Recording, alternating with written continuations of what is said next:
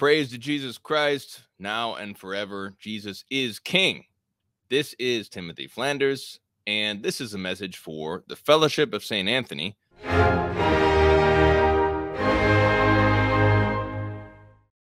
want to make clear to everybody the Lenten plan and what we're doing because I'm sorry I I haven't been clear. I apologize. Um, so if you're watching this and you have not joined the Fellowship of St. Anthony, this will also explain how you can join, why you should join, what we're doing. You can join up for all the Meaning of Catholic members for Lent. So here is the Fellowship of St. Anthony. It is our, our online community uses Telegram. If you're not on Telegram, uh, you're missing out on some of the community, but I understand um, technology and whatnot. I, I have a hard time figuring out all the little features of Telegram even now. Um, but the good thing about Telegram is that you can use it on your phone, but you can also use it on your computer. So if you're trying to cut down on smartphone usage, you can use it on your computer. So that's helpful as well. Um, so this is what it looks like. It um, here's the Fellowship of St. Anthony. Uh, it we currently have 107 members. This is the spiritual core of this whole apostolate, and we offer up penances for the clergy. That is the that is the main purpose and intention of the Fellowship of St. Anthony. Um, so if you go over here and you you can click right here on this description right here in the middle of the of the group. You also get this in the welcome message when you join the group. And you can join the group at the link below, by the way, if you want to join the group at any time during this video. Um, but what this is, basically, let me explain. Here's the breakdown. Um, there is a base requirement for this group, which is a tier one penance for the whole fellowship. Um, the um so tier one requirement is contained at this link. And this is the penance that we're all agreeing to do together. And it's not too hard. You can do it. This is tier one which is vegetarian diet monday wednesday friday of lent. And no alcohol for the duration of lent excluding sundays. No sweets Drinks are sugar free coffee or tea or water, and also fasting Wednesdays and Fridays.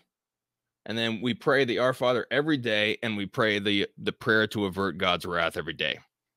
Those are the prayers that we pray every day during Lent. That's tier one. That's what we all agree to. That's the base requirement. In addition, we play we play weekly the stairs of the the stations of the cross and at least weekly a daily uh, weekly rosary. We also read the daily mass readings and we read the life of St. Anthony at your own pace. So if you have if you've never read it, read it, read it at your own pace. Um, you know, we're not counting that you read it at a certain pace. Um, giving alms, and you keep it all a secret. Now, there's the tier two option. So last year, if you did tier one, time to get on to tier two. Tier two is you do a vegan diet for the entire entirety of Lent. This is really upping your game. So you you no fish for the entirety of Lent, including Sundays, and you maintain your fast Monday, Wednesday, Friday, and you pray a daily rosary. And there's a, an additional black fast on Ash Wednesday and, and Good Friday.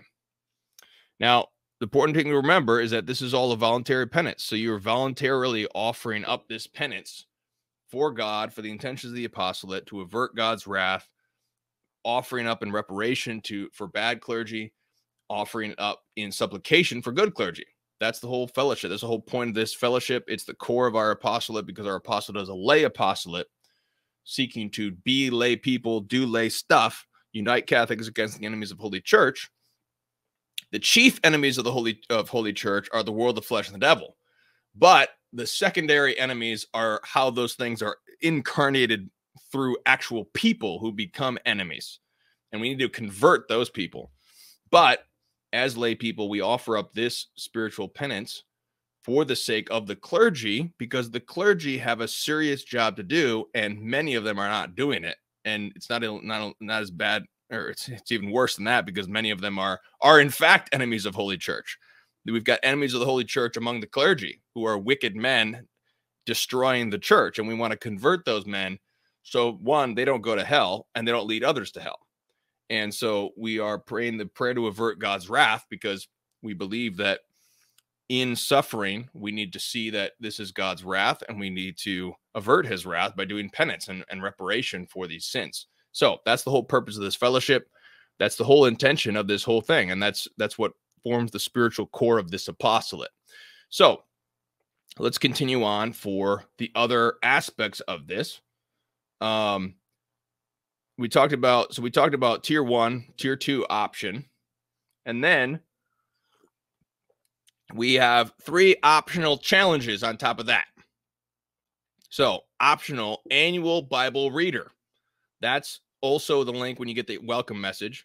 This is the annual Bible reader. So, some of us are taking on this as well and that's the annual Bible reading. So you, so you read the entire Bible once a year. There's also the Psalms, and I need to add that link because uh, there's three options for the Psalms as well. But in Lent, we go through the Pentateuch. We get through the entire Pentateuch. We get into Joshua and Judges. Um, and by the first or the uh, second Sunday after Pentecost, we are entering into uh, First Kingdoms, aka First Samuel. So we go through we start in Genesis and we go all the way through Second Chronicles, which ends later in the summer. So this is the big, huge narrative chunk in the Holy Scripture, but it also goes through all this other stuff. So, anyways, this is optional as well. So some of us are doing this, some of are not, but that's optional. And then there's the optional challenge 15 minutes of daily mental prayer. That's also an optional challenge. Um, that's something that I'm taking on definitely because I I've just had a really a big struggle with mental prayer. So something that I need to work on. And um, at the end of this video, we're going to read the introduction to mental prayer from the book that I'll be using, and you can use that if you'd like. And then I want to clarify this part too. There's an optional challenge of spiritual reading. Now, this will be, um, this is the spiritual reading challenge for Lent that we presented last week. So, um, this spiritual reading challenge is challenging both sides of the trad communio type debate. Um, and so for trads, you need to read Cardinal Sarah's Power of Silence. This is a book that will kick you in the teeth spiritually.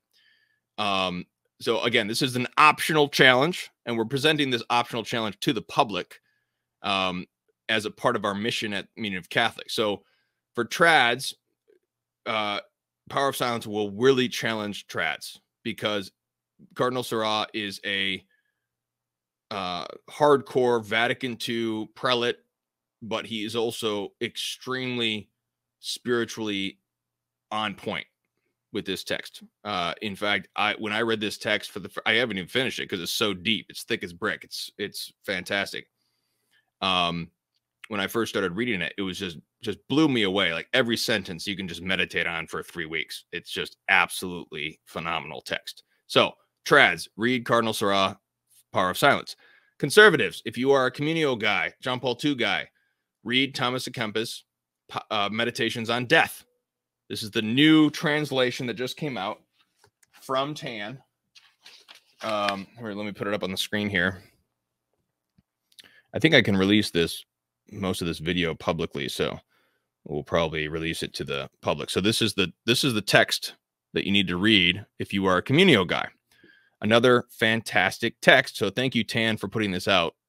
A new translation from à Kempis, never been brought into English. Um, so this text, this is for the Communio people. And then the second challenge for Communio people is to read the Latin Missal. Read the Latin Missal prayers. You can go to iPieta app uh, or divinumofficium.com to access these prayers for free, or you can buy a missal, but that's kind of expensive. So if you don't want to buy a missal, you can read these online. And this will challenge you because you may be wondering why are trads so up in arms about the Latin Mass? Why are trads so fussy about this Latin Mass? Can't they just get on board with the Novus Ordo? Great question. Well, an easy way to answer that question is for you yourself to do your own research and to read the prayers of the Latin Missal. And if you want, you can compare them with the Novus Ordo. But if you just read for Lent the prayers of the Latin Missal, you read the daily readings and you read the collect, the pre communion, the post communion, you will see the difference. You will see how powerful and how much they talk about fasting, for example, first of all, talk about fasting. They talk about averting God's wrath. The prayer to avert God's wrath is from Ash Wen the Thursday, the Mass of Thursday after Ash Wednesday from the Latin Mass. Um, those types of prayers are diminished in the new Mass. It's just a fact. Um, and so that might give you an idea as to why are the trads so fussy about the Latin Mass. So this is the spiritual reading challenge. So the spiritual reading challenge is that show when you see this thumbnail, that show I will do that show publicly and I will simply reflect on both of these readings of the Latin Mass. I will do that every week, God willing, in Lent as a part of the mission of this apostolate to challenge both sides of this modern debate in the Roman Rite. And then in Paschal Tide, I've already this is this is helping my own self because I really need help. I want to reread this text, difficulties in mental prayer, because I have a lot of difficulties in mental prayer, and maybe you also have some. um, and uh, it's this is a fantastic text, but I have never really put it into practice, and I really want to work on mental prayer. So I'm going to read this as well to all of y'all, and y'all can we can discuss it. So I hope that's helpful through Paschal Tide, um, because one of the difficulties is one of the difficulties is actually um, getting. Uh, it's difficult enough to get a discipline for Lent, and then one of the things I've struggled with is continuing the mystagogy into Paschal Tide. Paschal Tide, Lent is 46 days, including Sundays, because we do we do penance on Sundays too. We do abstinence on Sundays. Traditionally, you you abstain from meat on Sundays you but you don't fast on Sundays. Um, so there's six Sundays of Lent. So you take out the fasting days of Sunday, but you still abstain. That's 40 full days of of fasting.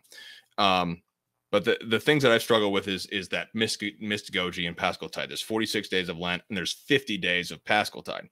So it's easy to lose your zeal in Paschal Tide so that you don't have that long-term spiritual benefit. So I'm going to try to keep myself on track by reading this text in Paschal Tide. So I hope that helps you too. Now, for spiritual reading,